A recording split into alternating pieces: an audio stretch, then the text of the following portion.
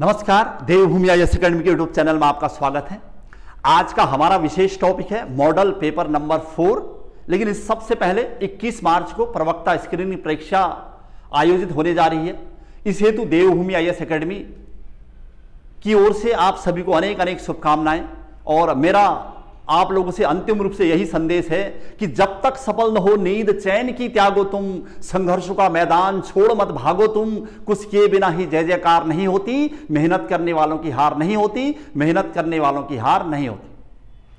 आज के इस मॉडल पेपर में मैंने कुछ और महत्वपूर्ण क्वेश्चन को सामने रखा है और फटाफट से मैं आपके सामने वन बाय वन का एक्सप्लेन करता हूँ और आपकी आगामी परीक्षा में कुछ अगर इससे प्रश्न बनते हैं या बनने की संभावना है तो आप इन्हें ज़रूर देखिएगा। चलिए चलते हैं भारत में। सबसे पहले क्वेश्चन है, भारत में पराली पर विचार हेतु गठित कमेटी कौन सी है? दिल्ली में जो पर्यावरण प्रदूषण हो रहा था, वो काफ़ी सुर्खियों में चल रहा था। तो पराली पर विचार करने हेतु गठित पहली समिति अगर प्रश्न पूछेगा तो इसका सही उत्तर होना चाहिए। मदन लोकुर कमेटी, देखिएगा, पहला प्रश्न ये है, मदन लोकुर कमेटी करंट से संबंधित बहुत ही इंपॉर्टेंट प्रश्न है तो पराली पर विचार करने हेतु समिति जो गठित की गई, उसके अध्यक्ष हैं मदन लोकुर जी तो उससे संबंधित कमेटी का था ये प्रश्न। दूसरा, डेजर्ट नाइट सैन्य अभ्यास किसके मध्य यानी भारत और किस देश के मध्य डेजर्ट नाइट सैन्य अभ्यास किया गया है? तो इसका सही उत्तर होना चाहिए, भारत और फ्रांस इंपोर्टेंट प्रश्नों में से एक और, यानी करंट के क्वेश्चन चल रहे हैं यहाँ पर फिर से।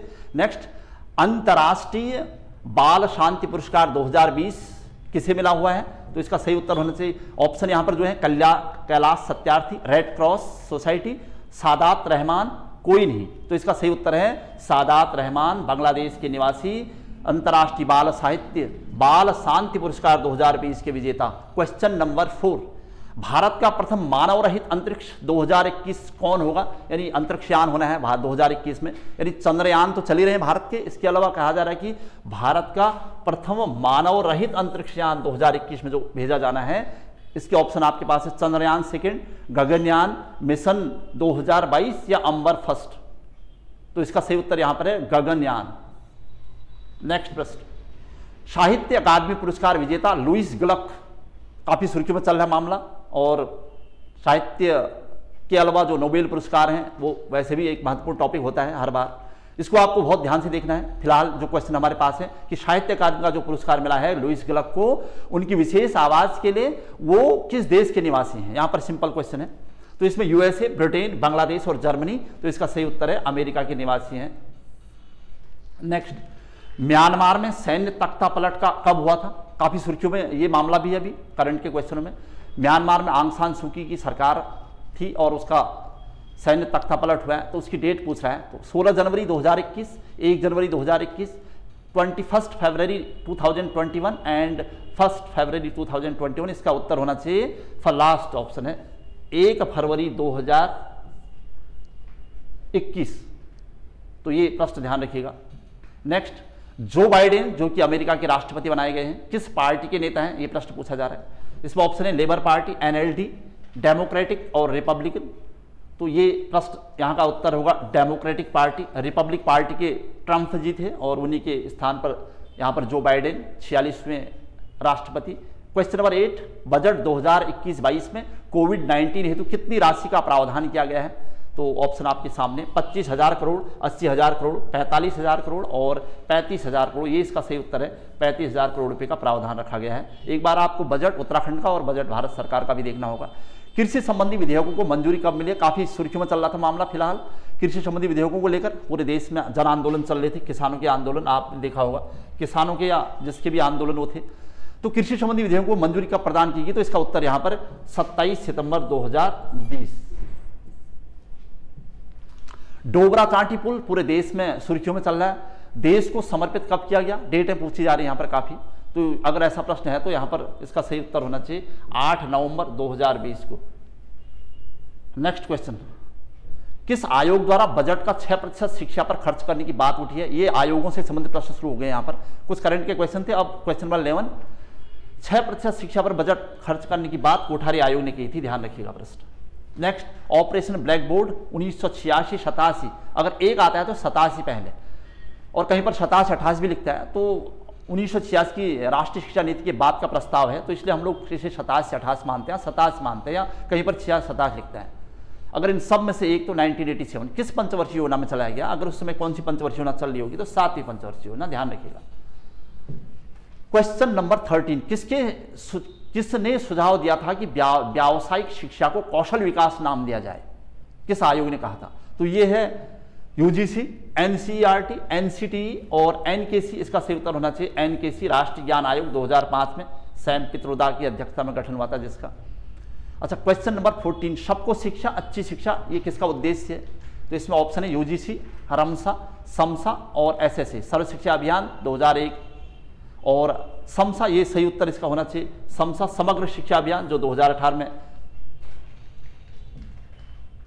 नया बनाया गया है। क्वेश्चन नंबर 15 किसने कहा, किसने 14 से 18 वर्ष के बालकों को शिक्षा उपलब्ध कराने की बात कही थी?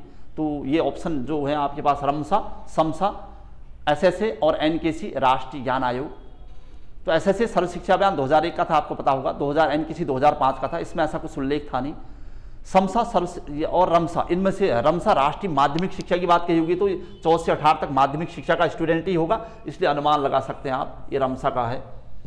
नेक्स्ट क्वेश्चन नंबर 16 कृषि हेतु पृथक विश्वविद्यालय किस आयोग ने कहा था? कि किसानों के लिए यानी कृषि के लिए पृथक विश्वविद्यालय होने चाहिए तो ये उच्च शिक्षा आयोग, राधाकृष्ण आयोग 1948 नेक्स्ट पर्यावरण जन जागरूकता किस आयोग की देन है? यानी किस आयोग ने पर्यावरण जन जागरूकता की बात कही थी? तो new economic policy 1986 1986 next question number 18 बहुउद्देशीय स्कूलों का विचार किस आयोग ने दिया था? तो इसका सही उत्तर होना चाहिए मुदालियर आयोग। आयोग आपको बहुत अच्छी तरह देखने पड़ेंगे। Question number next 19 Navodaya Vidyalaya, मुक्त विश्वविद्यालय तथा दूरस्थ शिक्षा डिस्टेंस एजुकेशन की बात किसने कही थी? तो इसका सही उत्तर है कोठारी आयोग, उच्च शिक्षा आयोग एन एनईपी 1986 और एनकेसी तो इसका सही उत्तर होना चाहिए एनईपी न्यू इकोनॉमिक पॉलिसी 1986 बहुत सारी चीज़ें उन्नीस के आयोग में लागू कर दी गई थी, आपको ध्यान होगा। जबकि ये बहुत सारी बातें कोठारी आयोग ने कही थी, लेकिन उनको कब लागू किया गया तो अधिकतर 1986 में, यानी न्यू इकोनॉमिक पॉलिसी में लागू किया गया था। खैर next question question number twenty twenty छात्र कल्याण बोर्ड के गठन का प्रावधान किसने दिया था? तो इसका भी उत्तर यहाँ पर राधाकृष्ण आयोग ही होना चाहिए। छात्र कल्याण बोर्ड की बात कही थी पहली बार राधाकृष्ण आयोग ने। Next question number twenty one कार्यानुभव को विद्यालय शिक्षा का अनिवार्य अंग बनाने की बात किसने की थी कार्य अनुभव काफ़ी इंपॉर्टेंट टॉपिक था ये उस समय जब ये बातें उठ रही थी। विरोध भी हो रहा था, जबकि कार्यानुभव को विद्यालय शिक्षा का अनिवार्य अंग बनाने की बात कहने वाला कोठारी आयोग है। नेक्स्ट प्रश्न. कक्षा एक से कक्षा कक्षा एक से अंग्रेज़ी की अनिवार्यता तथा कक्षा तीन से एक विषय अंग्रेज़ी में पढ़ाने की बात किस आयोग ने कही थी? तो यह है राष्ट्रीय ज्ञान आयोग 2005 ने कही थी। क्योंकि त्रिभाषा सूत्र की बात तो बहुत पहले से उठ रही थी। लेकिन अगर हमें त्रिभाषा सूत्र की बात करता है तो हम कोठारी आयोग के संदर्भ में सोचते हैं कि उसने पहली बार कोठारी आयोग को बहुत अधिक प्रमोट किया था। 1986 में अंततः ये सब लागू भी कर दिया गया। लेकिन ये कह रहा है कि कक्षा एक से अंग्रेज़ी की अनिवार्यता तथा कक्षा तीन से एक विषय अंग्रेज़ी में पढ़ाने की बात करने की तो राष्ट्रीय ज्ञान आयोग। नेक्स्ट ये हिंदी का क्वेश्चन यहाँ पर दिखाई दे रहा है। क्वेश्चन नंबर ट्वेंटी मातृण में संधि है। संधि की बात कर रहा है क्योंकि ये संधि और समाज का टॉपिक बहुत ईजी होता है, आपको इसको, इससे संबंधित क्वेश्चन छोड़ना नहीं चाहिए। तो मातृण में संधि बतानी आपको ऑप्शन यहाँ पर रखे हुए हैं। दीर्घ स्वर व्यंजन गुण यण। मातृण में मातृ धन ऋण, री धन री बराबर बड़ा री तो दीर्घ स्वर संधि का उदाहरण है। जहाँ दीर्घ स्वर संधि में आपको पता होगा, दीर्घ स्वर संधि में की विशेषता है, उसमें आ, बड़ाई और बड़ाऊ और री यानी री भी बड़ा ये सब आए रहते हैं। तो दीर्घ मात्रण का। पवन तथा गाय, गायक में संधि है। तो आप इसको देख के एकदम टिक नहीं मार सकते जबकि आपको लगे कहीं वो या यो आया है तो आपको कहीं योरोलोवो या योरोवो दिखे तो आप यण संधि नहीं मार सकते ऑप्शन में। है जबकि ऑप्शन में यण संधि भी। तो पवन यानी पोधनन या गायक गैधन अक तो आई धन ओ बराबर यो, यानी गाय, आई, आय, औ आओ ये है अयादि संधि की विशेषताएँ, यहाँ पर होना चाहिए अयादि संधि। तो संधि खासकर स्वर संधि में दिक्कत है यण संधि और अयादि संधि को लेकर, इसको इसलिए सोच समझ के आपको टिक मारना चाहिए। क्वेश्चन नंबर नेक्स्ट 25 रातों रात और बूंद बूंद पल पल दिन दिन इस टाइप के जो समास होते हैं रातों रात देखिएगा बूंद बूंद रात और दिन होता तो हम द्वंद्व समास मारते। दिन दिन रात होता तो भी। तो लेकिन यहाँ पर दोनों एक जैसे शब्द हैं, रातों रात, दिनों दिन, कानो कान, इस टाइप के अगर समास होते तो अव्ययी भाव समास के उदाहरण है, ध्यान रखिएगा। नेक्स्ट प्राण प्रिय में समास बार बार आ रहा है प्रश्न, समास से। प्राण प्रिय में कौन सा समास है? प्राणों से प्यारा, अर्थात कितना प्यारा? प्राणों से प्यारा तो कर्मधारय समास है, उसकी विशेषता बताई जा रही है, ध्यान रखिएगा। नेक्स्ट, ललना का सही अर्थ है। कली ऑप्शन है, भौरा, स्त्री और नदी। तो ललना स्त्री को कहा जाता है। स्त्री, इसका सही अर्थ होना चाहिए। नेक्स्ट ये उत्तराखंड का क्वेश्चन पर्वताकार वंश का राज्य कहाँ था करके? पर्वताकार वंश पौरव वंश भी कह सकते हो आप इसको। तो पर्वताकार वंश का राज्य क्षेत्र कहाँ था? तो ब्रह्मपुर था, यानी चमोली का क्षेत्र जिसे हम मानते हैं। क्वेश्चन नंबर ट्वेंटी नाइन किस चंद राजा ने पटरंग प्रथा चलाई थी? पटरंग प्रथा में झूठ बोल बोलकर रेशम बेचने की कला थी, यानी रेशम बेचने की पद्धति कहा जाता है इसको तो ये होगा रेशम। अगर कहे रेशम व्यापार से संबंधित प्रश्न बनाए तो इंद्रचंद ही होगा। ध्यान रखिएगा, चंपावत में जब राजा सोमचंद ने चंपावत में चंपावती नदी के तट पर चंद वंश की नींव डाली थी, उसके बाद इसी वंश में एक राजा इंद्रचंद हुए थे, जिन्होंने चंपावत में रेशम व्यापार को प्रोत्साहन दिया था। उत्तर भारत से बहुत सारे रेशम कारीगरों को, रेशम बुनकरों को उत्तराखंड बुलाया था। चीन से व्यापारिक संबंध यानी रेशम का व्यापार सुनिश्चित किया था। तो वो इंद्रचंद ही होगा इस टाइप का प्रश्न बनाएगा तो। क्वेश्चन नंबर थर्टी कत्यूरी वंश का संस्थापक बसंत देव किसका सामंत था? मतलब कत्यूरी वंश के प्रथम परिवार का संस्थापक भी लिखा रहता कहीं पर तो बसंत देव ही माना जाएगा। कहीं अगर ये प्रश्न क्या पूछ रहा है, किसका सामंत था? तो ये यशोवर्मन का सामंत माना जाता है। जब उत्तर भारत के किसी राजा ने उत्तराखंड पर अपना अधिकार कर लिया था तो बसंत देव का अपना सामंत बना दिया था। तो ध्यान रखना Yashovarman. Next question number thirty first thirty one Kumaon का अंतिम गोरखा सुबेदार। प्रश्न इंपोर्टेंट है। अंतिम गोरखा सुबेदार पूछा गया, ध्यान रखिएगा। कुमाऊं का अंतिम गोरखा सुबेदार। प्रथम सुबेदार पूछता तो हम जोगामल मार देते, देखिए। कुमाऊं का और गढ़वाल का। सत्रह सौ नब्बे में आपको ध्यान है कि अल्मोड़ा पर गोरखा राज स्थापित हो गया था। और 1804 में गढ़वाल पर गोरखा राज स्थापित हो गया था।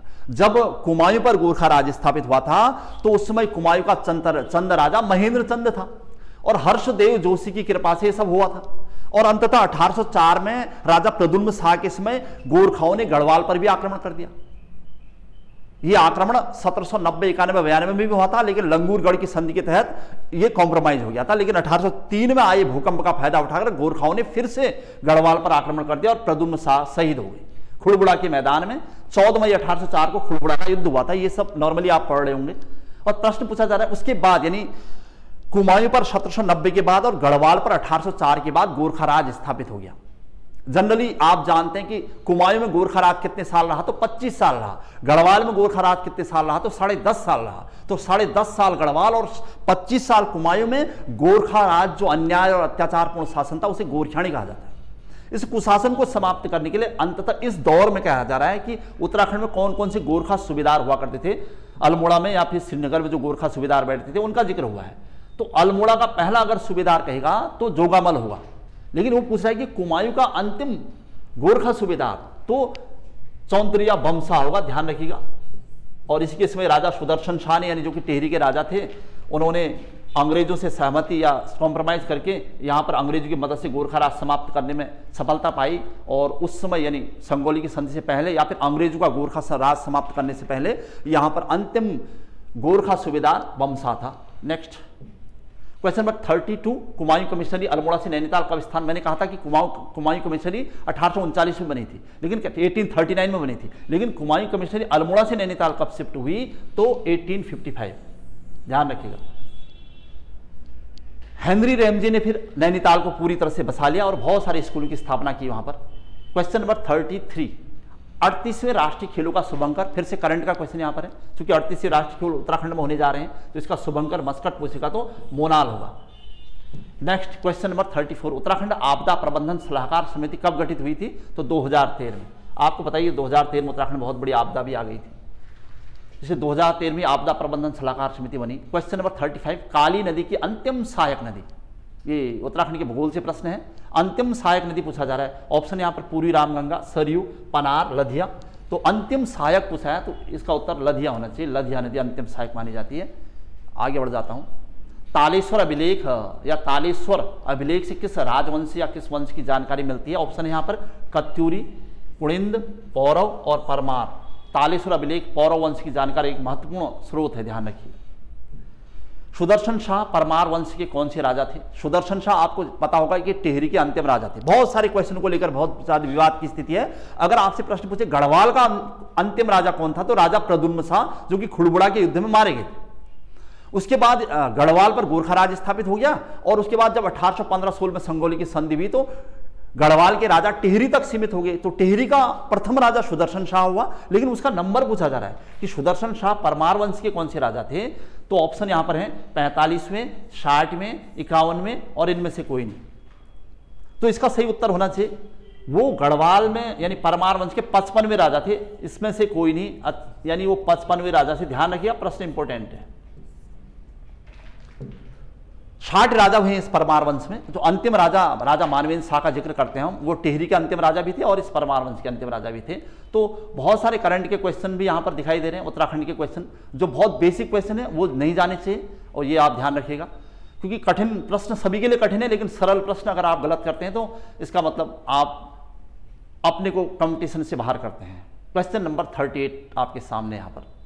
कुछ और क्वेश्चन आपके सामने हैं, देखिए। गमैया पद्धति भोटिया जनजाति में संबंधित है। किससे संबंधित है, कह रहा है? जनजाति से, मैंने कहा था कि एक या दो क्वेश्चन श्योर रहते हैं।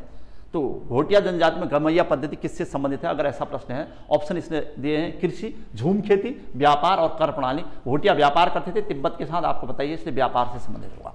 नेक्स्ट क्वेश्चन है, थारू जनजाति माता की ओर से किस वंश के क्योंकि थारू, थार मरुस्थल से माने जाते हैं, उनकी उत्पत्ति। और माता की ओर से थारू ऐसे किराट माने जाते हैं, लेकिन वो माता की ओर से किसके वंशज है और पिता की ओर से किसके वंशज है इस टाइप का प्रश्न बनाए तो? थारू पिता की ओर से भील और माता की ओर से राजपूत माने जाते हैं, ध्यान रखिएगा प्रश्न। पिता पूछेगा तो भील होगा, वैसे लोग किराट। अच्छा आगे बढ़ जाता हूँ। गढ़वाल से नंदा देवी की मूर्ति को किस चंद राजा ने अल्मोड़ा में स्थापित कर दिया था? तो अच्छा सा प्रश्न है फिर से। गढ़वाल से नंदा देवी की मूर्ति को किस चंद राजा द्वारा अल्मोड़ा में स्थापित किया था? पहली बार तो राजा बाज बहादुर चंद ने किया काम। Question number forty one Narendra Singh Kapany ये करंट का क्वेश्चन होना चाहिए। नरेंद्र सिंह कपानी का संबंध किससे है? नरेंद्र सिंह कपानी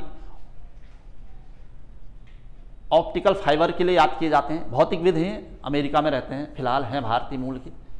तो नरेंद्र सिंह कपानी का संबंध भौतिकविद यानी और वर्तमान में भारत सरकार ने इनको पुरस्कृत भी किया है। इनके महान योगदान के लिए ऑप्टिकल फाइबर की खोज के लिए। भारत का प्रथम कोविड कोविड नाइन्टीन मुक्त राज्य संघ शासित क्षेत्र कौन सा है? अच्छा सा प्रश्न फिर से करंट का। भारत का पहला कोविड नाइन्टीन मुक्त राज्य पूछे या संघ शासित? तो इसका सही उत्तर यहाँ पर Andaman, Nicobar. Question number next 43 खुमरी पंचायत किस जनजाति से? फिर से जनजाति का प्रश्न है तो इसका सही उत्तर हो जाए, खुमरी पंचायत जौनसारी जनजाति की है, ध्यान रखिएगा। उत्तराखंड नई पर्यटन नीति कब घोषित की गई? तो ये करंट का क्वेश्चन फिर से, उत्तराखंड की नई पर्यटन नीति अगर पूछता है तो 28 सितंबर 28 2008 ध्यान रखिएगा नेक्स्ट किस ताल को षटकोण ताल कहा जाता है? छह कोनों वाला ताल, गढ़वाल का ताल ही, छह कोने हैं जिसके तो डोंडी ताल, ध्यान रखिएगा। वैसे भी वास्तुकी ताल को लाल पानी का ताल कहते हैं, जो टिहरी में मानते हैं हम लोग। और इससे सोनगंगा नदी निकलती है। तालों को लेकर काफ़ी विवाद की स्थिति आप देखोगे तो। सहस्त्र ताल गढ़वाल का और कुमायूं का सबसे बड़ा ताल है। सौ तालों को मिलकर बना है कहते हैं। सबसे बड़ा भी, गहरा भी। और मासर ताल टेहरी का है भाई बहनों का ताल कहते हैं कटोरी नुमा ताल। और इसका सही उत्तर है, डोंडी ताल, छह कोनों वाला ताल। क्वेश्चन नंबर फिफ्टी कुशही नामक गोरखा कर किससे संबंधित यानी गोरखाओं द्वारा लगाया जाने वाला कुशही कर। चंदों में भी इसका ज़िक्र हुआ है कहीं ना कहीं। कुशही नामक कर किस पर लगता था? तो इसका सही उत्तर है, ब्राह्मणों पर लगता था भैया कुशही कर। नेक्स्ट फिर से यहाँ पर आयोग से या समाज मिति क्वेश्चन फिर से आपका इंपॉर्टेंट है। समाज मिति विधि संबंधित है। किलपैट्रिक मोरेनो मोए मैस्लो और स्किनर तो इसका सही उत्तर मोरेनो होना चाहिए समाज मिति विधि के जनक। नेक्स्ट अभिक्रमित अनुदेशन के जनक कौन है? प्रोग्राम इंस्ट्रक्शन मेथड तो इसका सही उत्तर अगर पूछता है, इसको दो भागों में बांटा गया, मैंने आपको पढ़ाया भी था ये टॉपिक अगर नॉर्मली अभिक्रम अनुदेशन पूछे तो स्किनर होगा। फिर इसको दो भागों में बांटा है हमने।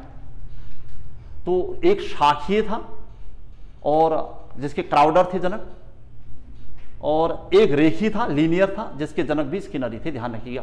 Next question number 53 Dhirendra Pal Singh का संबंध किससे? तो ये वर्तमान में यूजीसी के अध्यक्ष हैं धीरेन्द्र पाल सिंह। करंट का क्वेश्चन नए पाठ की शुरुआत के समय कौन सा कौशल उपयोगी होता है? तो इसमें ऑप्शन है पुनर्बलन री प्रस्तावना, उत्प्रेरक और कोई नहीं। तो इसका सही उत्तर है प्रस्तावना कौशल। नए पाठ की शुरुआत के समय काफ़ी प्रभावी होता है ये प्रश्न। नेक्स्ट कमलेश्वर मंदिर, पुत्रदाता मंदिर कहाँ है? कमलेश्वर मंदिर को पुत्रदाता मंदिर कहते हैं। और प्रश्न पूछा जा रहा है कि है कहाँ? पैठाणी, हिंडोला खाल, श्रीनगर, टेहरी, सब गढ़वाल के ऑप्शन यहाँ पर हैं। पैठाणी पैठानी का राहु मंदिर फ़ेमस है। आप जानते होंगे हिंडोला खाल का सन टेंपल फ़ेमस है। यानी श्रीनगर, टिहरी तो इसका सही उत्तर होगा यहाँ पर श्रीनगर। नेक्स्ट मनसबदारी प्रथा किसने चलाई? मुगल काल में मनसबदारी प्रथा काफ़ी फ़ेमस थी। जैसे दिल्ली सल्तनत में एकता प्रणाली, आपने सुना होगा, एकता प्रणाली का जनक इल्तुतमिश को माना जाता है, और बाद में अलाउद्दीन खिलजी ने इस पर रोक लगा दी, और फिरोज तुगलक को फिर से शुरू करना पड़ा ये सब चीज़ें। लेकिन यहाँ पर मनसबदारी प्रथा किसने चलाई, अगर प्रश्न पूछे तो आपको बताया मुगल में अधिकांश प्रश्न अकबर से संबंधित होते हैं। खैर, आगे बढ़ते हैं। Question number fifty six Baburnama किस भाषा की पुस्तक है? बाबरनामा, तुजु के बाबरी भी इसे कहते हैं। ये बाबर की आत्मकथा है। तो किस भाषा में लिखी गई है? तो ये है तो चकताई तुर्की, यानी तुर्की भाषा में लिखी गई है। नेक्स्ट जोधाबाई का महल कहाँ है? तो जनरल क्वेश्चन है, मुगल से। जोधाबाई का महल तो फतेहपुर सिकरी। आगरा और फतेहपुर सिकरी दोनों ऑप्शन है। आगरा के बाद फतेहपुर सिकरी बसाया था अकबर ने। पंद्रह में और बाद में यहाँ पर जोधाबाई का महल बनवाया गया। नेक्स्ट वसुमित्र किस बौद्ध संगीत के जनक थे? मैंने बार बार इससे प्रश्न आ रहे हैं कि चारों बौद्ध संगीति और उनके अध्यक्ष और उनके समय राजा कौन थे आपको ध्यान रखना चाहिए। और यहाँ पर पूछा जा रहा है, वसुमित्र किस बौद्ध संगीत अध्यक्ष थे? तो चौथी बौद्ध संगीति, अंतिम बौद्ध संगीत के अध्यक्ष रहे हैं वसुमित्र जी, ये ध्यान रखना। Question number 59 cabinet mission Bharat कब आया था? तो इसका उत्तर यहाँ पर 1942, 1947, 1946 और 1940 तो 46 होना चाहिए इसका सही उत्तर 1946 संविधान की प्रस्तावना में संशोधन कब किया गया था? आपको पता है संविधान की प्रस्तावना में संशोधन के लेकर काफ़ी विवाद है। अंततः केशवानंद भारती बनाम केरल राज्य ने कह दिया कि प्रस्तावना में संशोधन किया जा सकता है लेकिन उसके बेसिक स्ट्रक्चर यानी जो उसका मूल ढांचा उसमें परिवर्तन नहीं होने चाहिए। तो इसी को लेकर संविधान में संशोधन किया गया। बयालीसवें संविधान संशोधन उन्नीस सौ छिहत्तर के तहत पहली बार, और संविधान की प्रस्तावना में तीन शब्द जोड़े गए। आपको पता होना चाहिए, समाजवाद पंथ निरपेक्ष एकता और अखंडता। 1976 बयालीसवें संविधान संशोधन के तहत question number 61 Uttarakhand paragliding academy कहाँ स्थापित होगी? मतलब हो रही है या अभी होनी है? तो इसका सही उत्तर यहाँ पर है। नयार घाटी, कुछ समय पहले यहाँ पर मीटिंग भी हुई थी और एक शुरुआत इसकी की गई थी। नयार घाटी, नयार नदी पर है, ये पौड़ी गढ़वाल में। Question number sixty two Aung San Suu Kyi का संबंध है? पार्टी पूछ रहा होगा। आंगसान सूकी जो कि म्यांमार की लोकतंत्र समर्थक नेता हैं तो उनका संबंध किस पार्टी से? लेबर पार्टी बीएलएम एनएलडी और डीपीएल तो इसका सही उत्तर होगा एनएलडी क्वेश्चन जो करंट से संबंधित उनको आप छोड़ नहीं सकते। क्वेश्चन नंबर 63 प्रत्यक्ष कर नहीं है। एक प्रत्यक्ष और अप्रत्यक्ष कर, यानी इकोनॉमिक्स का क्वेश्चन भी पूछे जा रहे हैं। तो प्रत्यक्ष कर नहीं है पूछा जा रहा है, ध्यान रखिएगा। ये चीज़ें आपको बहुत ध्यान से रखनी चाहिए। निगम कर कॉरपोरेट टैक्स आयकर इनकम टैक्स सेवा कर सर्विस टैक्स या प्रॉपर्टी संपत्ति कर, इसका सही उत्तर होना चाहिए, सेवा कर। ये प्रत्यक्ष कर नहीं है। तो ध्यान रखिए। नेक्स्ट क्वेश्चन है क्वेश्चन नंबर 64 2019 में राष्ट्रीय धरोहर घोषित, कोटली विष्णु मंदिर, ये नया सा प्रश्न है आपके सामने, उत्तराखंड से है प्रश्न। 2019 में राष्ट्रीय धरोहर घोषित, कोटली विष्णु मंदिर कहाँ है, पूछा जा रहा है तो इसका उत्तर है पिथौरागढ़ में। उन्नीस में दो, इसे राष्ट्रीय धरोहर घोषित किया गया। नेक्स्ट क्वेश्चन है यहाँ पर, वीरोखाल पौड़ी में किसका स्मारक है? महारानी कर्णावती का कमलेंदुमती शाह का, मीरा बहन का, या तीलू रौतेली का? तो तीलू रौतेली, गढ़वाल की झांसी की रानी, जिसने कत्यूरी को धूल चटा दी थी और लगातार सात युद्धों में उन्हें पराजित कर दिया था, कहते हैं। हालाँकि इसके परिणाम स्वरूप रामू रजवार नामक एक कत्यूरी ने धोखे से उनकी हत्या भी कर दी थी, तीलू रौतेली। नेक्स्ट संविधान सभा में उद्देश्य प्रस्ताव किसने रखा था? तो हमारे संविधान के उद्देश्य क्या होने चाहिए, उससे संबंधित लेकर अगर ऐसा प्रश्न बनाएगा तो पंडित जवाहरलाल नेहरू ने उद्देश्य प्रस्ताव। नेक्स्ट ग्लोबल 500 पुरस्कार किससे दिया जा, दिया जाता है, किस क्षेत्र में अगर प्रश्न पूछे तो यानी कृषि, पर्यावरण, विज्ञान और समाज सेवा तो इसका सही उत्तर होना चाहिए पर्यावरण। Global 500 UNEP United Nations environmental programme ये संस्था इन्वॉल्व है इसमें यूएनईपी आगे बढ़ता हूँ। क्वेश्चन नंबर 68 यहाँ पर श्रीदेव सुमन की स्मृति में वृक्षारोपण दिवस कब मनाया जाता है? जिस दिन श्रीदेव सुमन शहीद हुए थे, यानी 25 जुलाई को, वृक्षारोपण दिवस मनाया जाता है, ध्यान रखिएगा। थियोसाफिकल सोसाइटी का भारत में मुख्यालय अठारह में कहाँ स्थापित हुआ था? ये प्रश्न है यहाँ पर। थियोसॉफिकल सोसाइटी की स्थापना के बारे में आपको बता दूँ। चूँकि ये टॉपिक पुनर्जागरण का इतिहास में एक महत्वपूर्ण टॉपिक हो सकता है आपके लिए। आर्य समाज, ब्रह्म समाज और प्रार्थना समाज, इसके अलावा रामकृष्ण मिशन थियोसॉफिकल सोसाइटी ये छोटी मोटी संस्थाएँ, देव समाज और ये सब, ये आपको ध्यान रखना चाहिए। इसमें से एक यहाँ पर प्रश्न आया है। थियोसॉफिकल सोसाइटी जो थियोसॉफिस्ट विचारधारा रखते थे, इसकी स्थापना 1900 सॉरी 1875 में न्यूयॉर्क में हुई थी। 1875 में आपको ध्यान होगा, बंबई में आर्य समाज की स्थापना भी हुई थी। और 1875 में ही न्यूयॉर्क में थियोसॉफिकल सोसाइटी की स्थापना हुई थी। मैडम एच पी ब्लावस की इन लोगों ने की थी। और बाद में इसका मुख्यालय भारत में आरडीआर, यानी तमिलनाडु, चेन्नई के पास स्थापित किया था। ये ध्यान रखना, प्रश्न बहुत पूछा जाता है। ये है तमिलनाडु में, नाइन, एटीन की बात है। स्थायी बंदोबस्त आपको पता है कॉर्नवालिस ने शुरू किया था सत्रह सौ तिरानवे में, लेकिन कहाँ से शुरू किया गया था प्रश्न पूछा इस बार?